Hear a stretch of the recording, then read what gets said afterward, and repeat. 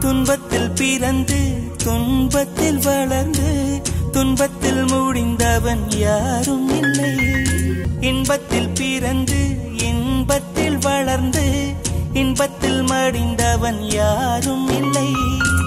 இன்பம் பாதி துன்பமும் பாதி இரண்டும் வாழ்வின் அங்கம்.